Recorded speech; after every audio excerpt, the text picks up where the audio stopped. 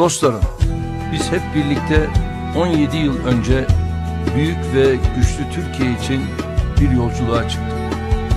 Bu yolculuk hepimizin hikayesi. Bu yolculuk bizim milletimizi olan aşkımızın hikayesi. Bu yolculuk aziz milletimizin bize duyduğu güvenin, samimiyetin ve inancın hikayesi. Bu yolculuk boyunca hiçbir şey bizi durduramadı. Önümüze çıkan tüm engelleri hep birlikte aştık. Biz büyük Türkiye'yiz. Bugün şehir şehir, ilçe ilçe, belde belde milletimize hizmetkar olma yolunda yeni bir yolculuğa çıkıyoruz.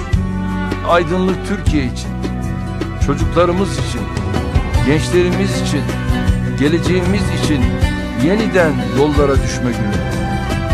Yolumuz açık olsun.